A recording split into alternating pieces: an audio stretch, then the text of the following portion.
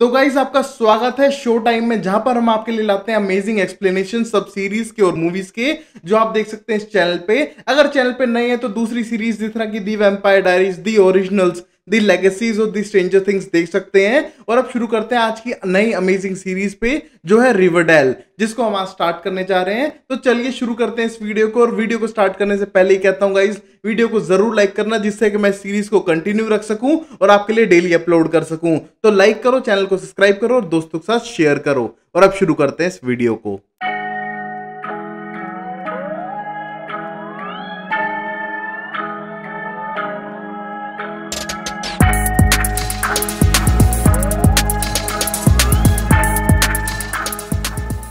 ये कहानी है रिवरडेल नाम के एक छोटे से टाउन की और वहाँ के लोगों की कहानी जो दूर से तो बिल्कुल नॉर्मल टाउन दिखता है बट जब आप पास से देखते हैं तो वहाँ पर बहुत सारी मिस्ट्री देखने को मिलती है और बहुत ज़्यादा डार्कनेस देखने को मिलती है।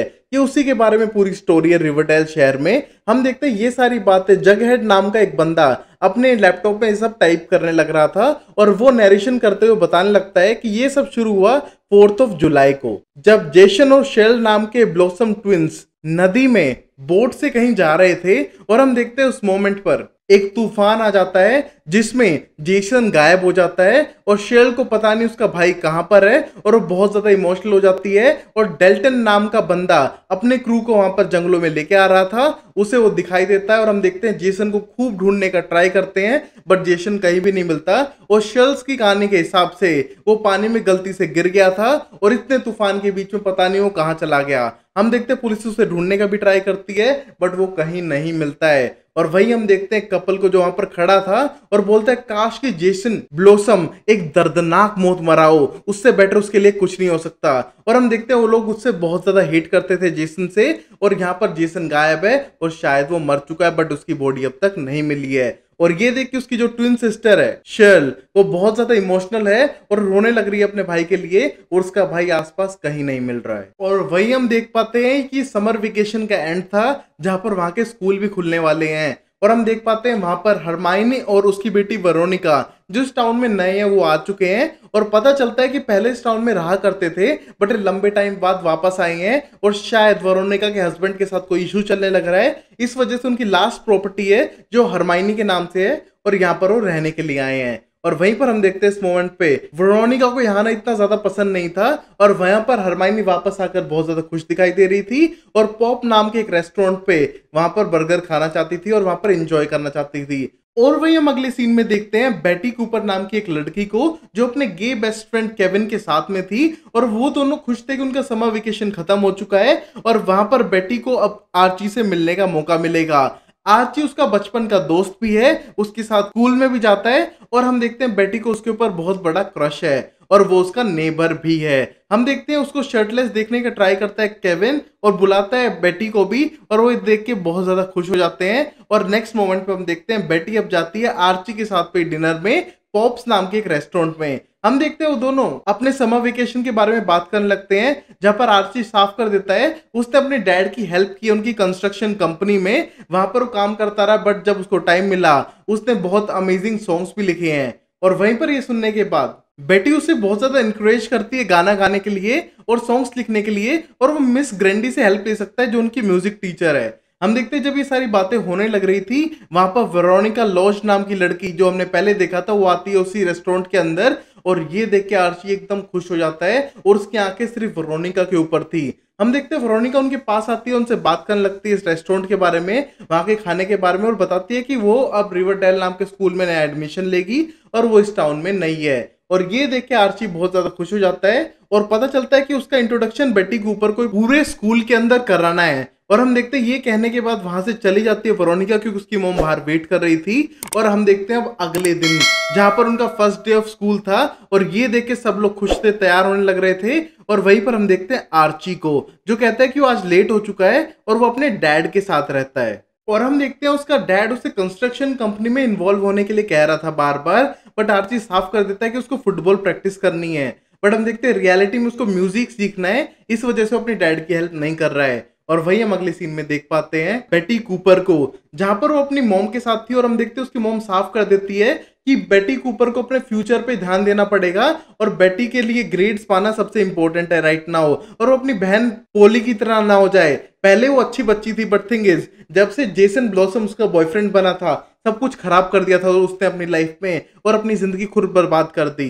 और वहीं पर हम देखते हैं, साफ़ कर देती है बेटी की अपनी बहन के जैसे बिल्कुल भी नहीं है। और उसका दोस्त आर्ची है। मानता उसका भी रेड हेयर है बट थिंग इज़ वो बिल्कुल भी ब्लॉसम जैसा नहीं है। और ये कहने के बाद वहाँ से चली जाती है। और अब हम देखते हैं आर्ची को, जो अपने सॉन्ग्स तो लिख रहा था बट उसे डाउट था कि वो परफेक्ट है नहीं है। और तभी हम देखते हैं उसके दूसरे जो दोस्त थे, वो उसको फुटबॉल के लिए बुलाने लगते हैं और बोलते हैं तो बहुत ज़्यादा स्ट्रांग हो चुका है और हम फुटबॉल में अमेजिंग करेंगे। बट हम देखते हैं आर्ची का इसमें कोई इंटरेस्ट नहीं था। वो सीधा एक ग्रुप के पास जाता है जो सिंगिंग करती है अपने स्कूल के अंदर और पुसी कैट नाम है उसका। और हम देखते हैं उनके पास जाने के बाद रिक्वेस्ट करता है कि क्या वो उसके सॉन्ग में हेल्प करेंगे और क्या उसका गाना वो गाएँगी। बट हम देखते हो तीनों मना कर लेती है और जो उनकी लीडर थी, वो बहुत ही ज़्यादा रूडली बात करती है आर्ची से और उसको साफ़ मना करती है क्योंकि पुसी कैट खुद के गाने लिखती है और वो खुद गाती है। उन्हें किसी की हेल्प की ज़रूरत नहीं है और वो बेस्ट बैंड बन के रहेंगी और ये कहने के बाद आर्ची को साफ़ मना कर देती है। और वहीं पर हम देखते हैं बेटी को, जो वरोनिका को पूरा स्कूल दिखाने लग रही थी और हम देखते हैं वरोनिका कुछ खास इंप्रेस नहीं होती है और वहीं पर हम देखते हैं केविन आ चुका था। केविन आने के बाद बोलते हैं, तुम वरोनिका लो जो ना, तुम्हारे फादर के बारे में सुना है मैंने। और ये कहने के बाद वरोनिका को गुस्सा आने लगता है और बोलती है हाँ मुझे पता है। मेरे डैड को लोग शैतान भी कहते हैं आई नो दिस और ये कितने लोगों को पता है? और तभी हम देखते हैं बेटी को ये बात पता थी और पूरे स्कूल को भी कि वरोनिका लॉज के जो फादर है, वो बहुत ही इविल इंसान है। और ये देख के वरोनिका को बिल्कुल अच्छा लगता है कि सब लोग उसके फादर के बारे में ये सोचते हैं। और अब हम अगले सीन में देख पाते हैं शेरल ब्लॉसम को, जो स्कूल के आगे स्पीच देती है अपने भाई की डेथ पे, जिसको बहुत ज़्यादा बुरा लग रहा है और बोलती है, तुम मैच कंटिन्यू करो जो लोग खेल रहे थे। शायद मेरा भाई जेसन भी ऐसा ही चाहता। और ये कहने के बाद मैच को कंटिन्यू कराती है, जो उसके भाई की डेथ की वजह से कैंसिल हो गया था। हम देखते हैं, ये देख के सब लोग खुश हो जाते हैं और वही हम देख पाते हैं आर्ची को, जो अपनी टीचर मिस ग्रंडी को देखने का ट्राई कर रहा था बट वहाँ से मिस ग्रंडी उसको इग्नोर करने का ट्राई कर रही है और तभी हम देखते हैं एक फ्लैशबैक का सीन जो उन समर वेकेशन का था। वहाँ पर हम देखते हैं ग्रंडी और आर्ची टीचर स्टूडेंट तो हैं बट वो बहुत ही ज़्यादा इंटीमेट हो चुके थे एक दूसरे के साथ में छुट्टियों में, जिसको लेके मिस ग्रंडी उसको इग्नोर करने का ट्राई कर रही थी। और वहीं पर हम देखते हैं आर्ची उन्हें बोलने की कोशिश भी करता है कि वो उनसे म्यूज़िक के तौर पर मिलना चाहता है, और तभी हम देखते हैं मिस ग्रंडी बोलती है कि तुम अपॉइंटमेंट के साथ आना और प्लीज़ वैसे मत आओ। और हम देखते हैं यहाँ पर मिस ग्रंडी उसे इग्नोर करने का ट्राई कर रही थी। और ये देख के आर्ची को थोड़ा बुरा लगता है। वहीं हम देख पाते हैं अगले सीन में, जहाँ पर लंच ब्रेक में अब आर्ची बेटी केविन के साथ बैठ के लंच करने लग रहा था। वहाँ पर हम देखते हैं वरोनिका आती है और थोड़ी डिप्रेस दिखाई दे रही थी क्योंकि वो स्कूल में नहीं है, उसका पहला दिन है और लोग थोड़ा उसको इग्नोर करने का ट्राई कर रहे हैं। बट तभी केविन साफ़ कर देता है, इस साल तो सिर्फ़ शेल्स की बातें ही होंगी क्योंकि उसके भाई की डेथ हुई है और रही बात तो वो ईविल है एक तरह से।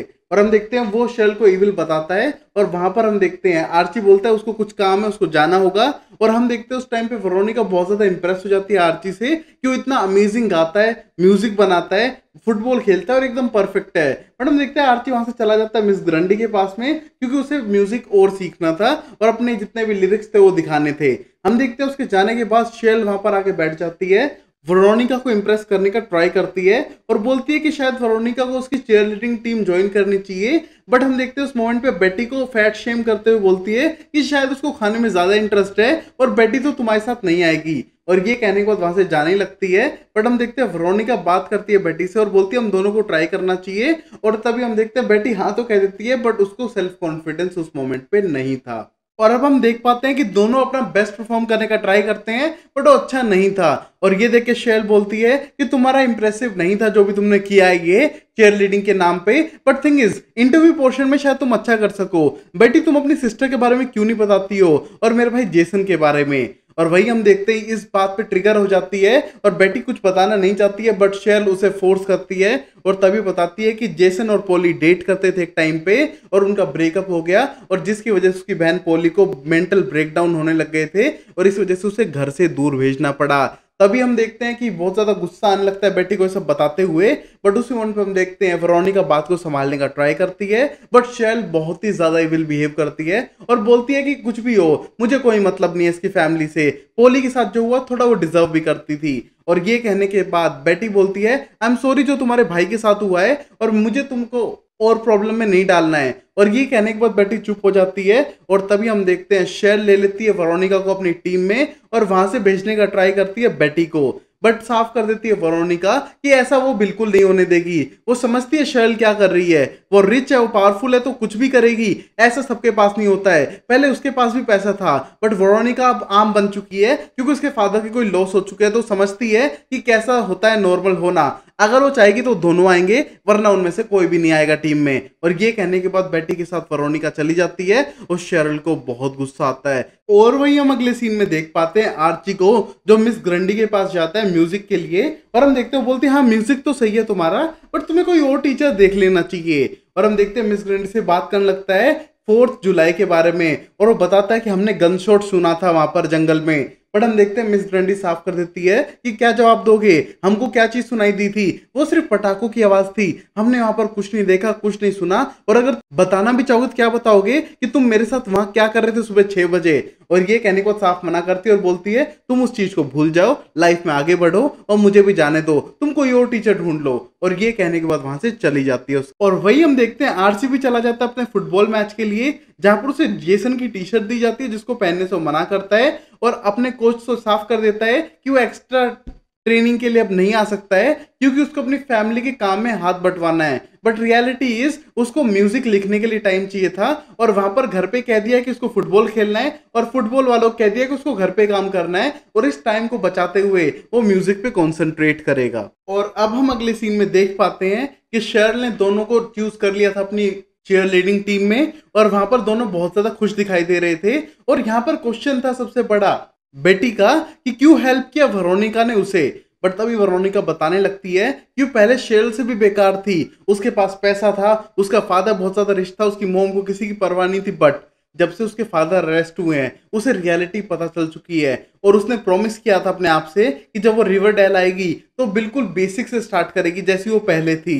और वो मीन गर्ल नहीं रहेगी जो वो न्यूयॉर्क में रहते हुए बिहेव कर रही थी। और हम देखते हैं, ये पता करने के बाद अब पोली के बारे में पता करती है वरोनिका कि पोली और जेसन डेट कर रहे थे, जिससे उसके पेरेंट्स बिल्कुल भी खुश नहीं थे। और जेसन और उसकी लड़ाई होने पर हमारे पेरेंट्स ने मेरी पोली का साथ भी छोड़ दिया और उसको डिप्रेशन में जाने दिया। उसकी हालत बिगड़ती गई, इसलिए उसको यहाँ से दूर ले जाना पड़ा। और ये कहने के बाद वरोनिका को उसके बारे में बुरा लग रहा था।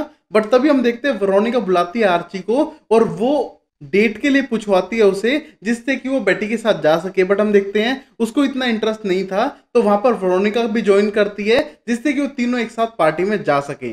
और अब हम देख पाते हैं कि घर आ चुकी थी बेटी, और वो बहुत ज़्यादा खुश है, क्योंकि वो डांस में जाने वाली है, वो चेयर लीडिंग टीम में आ चुकी है बट उसकी मोम ये देख के बिल्कुल खुश नहीं होती और बोलती है, तुम ये नहीं करोगी। बट बेटी बोलती है, मैं आपके लिए सब कुछ करती हूँ, आपको खुश करने के लिए। एक चीज़ मुझे पसंद है, मुझे करने दो। क्या प्रॉब्लम है? मैं आर्ची के साथ डांस पे भी जाऊँगी और वरोनिका के साथ भी जाऊँगी। और हम देखते हैं, वरोनिका का नाम सुनते ही उसकी मोम को गुस्सा आने लगता है क्योंकि वो हरमाइनी लॉज की बेटी थी और वो साफ़ मना करती है इन सब चीज़ों के लिए। बट तभी हम देखते हैं बेटी अपनी माँ की एक भी बात नहीं मानना चाहती है और वो चाहती है कि जो उसकी मर्ज़ी हो, वो करे। और उसको प्लीज़ फोर्स ना किया जाए और ये कहने के बाद वहाँ से चली जाती है। और ये देख के बेटी की मोम को बहुत गुस्सा आ रहा था। और वहीं पर हम अगले सीन में देख पाते हैं। आर्ची के डैड को, जिसकी मिस्टर एंड्रूज नाम की कंपनी है, और हम देखते हैं उसके पास वर्णिका लॉज की मोम, हरमाइनी लॉज आ चुकी थी, और वो बात करने लगती है कुछ पैसों की पार्टनरशिप की, और बोलती है उसके पास कुछ ही पैसा बचा है, और वो इन्वेस्ट करना चाहती है बट हम देखते हैं एंड्रयू बिल्कुल मना कर देता है उसके साथ काम करने के लिए। और ये देख के हरमाइनी को थोड़ा बुरा लगता है, क्योंकि उसकी लास्ट होप्स खत्म होने वाली हैं। उसके हस्बैंड की लगभग प्रॉपर्टी बिक चुकी है और सीज हो चुकी है और उसके पास अब ज़्यादा पैसा नहीं है। और ये देख के वो टेंस हो रही थी बट उसको साफ़ मना कर देता है आर्ची का डैड कि वो इसमें इसकी कोई हेल्प नहीं कर सकता है। बट जब हम देखते हैं हरमाइनी वापस आ चुकी थी अपने घर पे, तब वहाँ पर उसे एक बैग मिलता है और बोलते हैं कि कोई उस बैग को रख के गया है और आप शायद भूल गई थी उसे कहीं रास्ते में। और हम देखते हैं जैसे खोल के देखती है, उसके अंदर पैसे रखे थे और ये देख के समझ जाती है और बोलती है रैम इस बार तुमने क्या कर दिया? और ये सोचते हुए टेंस होने लगती है इतने सारे पैसों को देखकर भी। मतलब कोई तो बड़ी गड़बड़ है और शायद इसका हस्बैंड किसी तरह का बड़ा गैंगस्टर है। और वही हम देखते हैं, आर्ची का डैड उससे पूछने लगता है कि वो कहाँ पर टाइम स्पेंड कर रहा है आजकल? क्योंकि उसके कोच का फ़ोन आया था। वो पता कर रहा था कि ये क्यों कोचिंग के लिए नहीं आ रहा है और क्या फादर का ऐसा बिज़नेस है। और तभी हम देखते हैं, इस टाइम पे आर्ची पकड़ा गया था कि वो दोनों से झूठ बोल रहा था और सच बताता है कि वो म्यूज़िक में इंटरेस्ट लेने लगा है। उसे बिज़नेस नहीं करना है उसके फादर के साथ। और हम देखते हैं उसका फादर थोड़ा निराश होता है बट बोलता है, कोई नहीं, ये तुम्हारी मर्ज़ी है बट अपने डिसीज़न लाइफ के सोच समझ कर रहना, क्योंकि हर डिसीज़न तुम्हारी लाइफ को चेंज करेगा, आर्ची। और तुम सोच समझ के ही बोलना, चाहे तुम्हारा करियर हो या तुम्हारे पैशन हो। और ये कहने के बाद वहाँ से चला जाता है और हम देखते हैं आर्ची का डैड ज़्यादा खुश नहीं था उससे, उसके म्यूज़िक करियर को चुनने पर। और वहीं फिर हम अगले सीन में देख पाते हैं। पार्टी के अंदर वरोनिका और बेटी साथ में लेके आ चुके थे आर्ची को और हम देखते हैं आर्ची थोड़ा कंफ्यूज सा दिखता है बट वो जैसे ही मिस ग्रैंडी को देखता है, उसके पास जाता है और उससे बात करने लगता है कि उसको कुछ तो बताना पड़ेगा। शायद जेसन के मर्डर मिस्ट्री सोल्व हो सके। वो गन की आवाज़ शायद जेसन को लगी हो। कुछ तो हो सकता है। हम हेल्प कर सकते हैं बट मैं हेल्प नहीं करूँगा जब तक तुम नहीं रेडी होती हो। और हम देखते हैं उस मोमेंट पे वो बिल्कुल भी बोलने के लिए तैयार नहीं थी और बोलती है, प्लीज़, इन सब चीज़ों को भूल जाओ तुम, आर्ची। उसको अगर तुम बोलोगे तो बड़ा पंगा खड़ा हो सकता है। तुम्हें म्यूज़िक के बारे में पूछना है तो पूछ सकते हो। और हम देखते हैं आरती उससे म्यूज़िक सीखना चाहता है और वो मंडे को उससे मिलेगा एक्स्ट्रा क्लासेस के लिए, जिससे कि उस सिर्फ़ म्यूज़िक पे ध्यान दे पाए। और हम देखते हैं इस मोमेंट पे मिस ग्रैंडी उससे मिलना और इंटीमेट होने को उसकी सबसे बड़ी गलती समझ रही थी। और वहीं पर हम देखते हैं आर्ची के पास आ जाती है अब बेटी और हम देखते हैं बेटी बोलती है, हम कितने पावर कपल बन सकते हैं ना? मैं चेयर रीडिंग में हूँ, तुम फुटबॉल में हो और इट्स परफेक्ट बट हम देखते हैं आर्ची को इसमें इंटरेस्ट नहीं था और वह अभी भी मिस ग्रंडी को पसंद करता है। और ये देखते हो हम देखते हैं, कुछ तो समझ आता है बेटी को और वो थोड़ा दूर होने लगती है और समझ जाती है कि शायद आरती उसे उस नज़र से नहीं देखता है जैसे वो आर्ची को देखती थी। और ये देखते हुए इमोशनल हो जाती है और ये सारे इवेंट दूर खड़ी शेरल देख रही थी और बोलती इन वरणिका के साथ इन दोनों को भी मेरी आफ्टर पार्टी में ज़रूर लेके आना। देखते कोई ड्रामा क्रिएट हो सकता है क्या? नहीं। और हम देखते शेरल कोई प्लान कर रही थी ड्रामा क्रिएट करने का इन तीनों दोस्तों के बीच में। और फिर हम अगले सीन में देखते हैं, शेरल अपने घर पे आफ्टर पार्टी रखने लग रही थी और वहाँ पर सब लोग आ चुके हैं और वहाँ पर स्पिन द बोटल वाला गेम चल रहा था और वहाँ पर चूज़ करे जाते हैं, आर्ची और वरोनिका एक कपबोर्ड में सात मिनट एक साथ बिताने के लिए। और ये देख के बेटी को बिल्कुल भी अच्छा नहीं लग रहा था। बट हम देखते हैं, और गेम था तो उनको करना पड़ा। वो अंदर जाने के बाद बात करने लगते हैं कि उनकी लाइफ कैसे चल रही है। और वहाँ पर वेरोनिका को सिर्फ़ ये जानना था कि आर्ची पसंद करता है कि नहीं बेटी को। बट वो साफ़ कर देता है बेटी उसकी बचपन की दोस्त है बेस्ट फ्रेंड है। बट उसके लिए कोई फीलिंग नहीं है उसकी। वो सिर्फ़ अच्छी दोस्त है। बट तभी हम देखते हैं, पता चलता है कि उसको वरोनिका के लिए फीलिंग्स थी और वो उसे पसंद भी करता था। बट हम देखते हैं वरुणिका साफ़ करती है, ये सिर्फ़ गलत रहेगा, बट हम देखते हो गलती से किस कर देते हैं, और जैसे वो बाहर आते हैं, हम देखते हैं बेटी वहाँ पर नहीं थी। और ये देख के समझ जाते हैं शेल ने पूरा प्लान किया था, ये सब मिसअंडरस्टैंडिंग क्रिएट करने के लिए, और हम देखते हो बेटी को ढूँढने का ट्राई करते हैं बट साफ़ कर देती है वरोनिका कि अगर हम साथ जाएँगे तो और पंगा हो जाएगा, और बेटी को कुछ और गलत लगेगा। और ये कहने के बाद वरोनिका घर चली जाती है, जहाँ पर अपनी मोम के पास जाने के बाद बहुत ज़्यादा गिल्टी फील कर रही थी। वही हम देखते हैं इस मोमेंट पे, उसको ढूँढने लगता है अलग अलग जगहों पे। आर्ची, और हम देखते हो रेस्टोरेंट में जाता है और मिलता है अपने दोस्त जग हेड से, जो अपनी नोवेल लिखने लग रहा था जेसन ब्लॉसम की डेथ के ऊपर। हम देखते हैं वो बेटी के बारे में पूछने लगता है तो साफ़ कर देता है जग हेड की बेटी बहुत अच्छी सलाह देगी तुझे, कोई इशू है तो उससे जाके मिल ले। आर्ची अब आ चुका था अपने घर के साइड में, जहाँ पर वो बेटी से मिलने आया था। और हम देखते हैं बेटी उससे मिलना नहीं चाहती और उसका दिल टूट चुका है कि आर्ची उसे पसंद नहीं करता है बट आर्ची साफ़ कर देता है कि वो उसकी बचपन की दोस्त है, वो उससे बहुत प्यार करता है बट उस तरीके से नहीं। वो उसके लिए बहुत ज़्यादा परफेक्ट है। बिल्कुल परफेक्ट है बेटी बट वो उसके लायक नहीं है। और ये कहने के बाद हम देखते हैं, वो दिल तोड़ देता है बेटी का और वहाँ से वो चला जाता है। और वहीं पर हम देखते हैं, अब केविन को, जो बेटी का गे फ्रेंड था, वो किसी बंदे के साथ हुकअप करने के लिए जंगलों में जाता है और हम देखते हैं जैसे नदी के पास जाने लग रहा था, वहाँ पर वो गिरता है किसी से टकरा कर और पता चलता है कि वो जेसन की लाश थी और हम देखते हैं अब जेसन की लाश मिल चुकी थी और ये देख के पुलिस इन्वेस्टिगेशन स्टार्ट करती है, सब लोग वहाँ पर आ जाते हैं और अब पता चलेगा इसको मारा किसने है और जल्दी से जल्दी इन्वेस्टिगेशन स्टार्ट हो पाएगी और पता चलता है इसकी मौत डूबने से नहीं, गोली लगने से हुई है मतलब किसी ने प्लान करके इसको जान से मारा है और पता करेंगे वो नेक्स्ट एपिसोड में। तब तक के लिए लाइक करो चैनल को सब्सक्राइब करो गाइस अगर आपको ऐसी अमेजिंग सीरीज़ चाहिए तो रिकमेंड कर सकते हो कमेंट बॉक्स में। Thanks for watching take care bye bye signer and tata and like करते हुए जाना।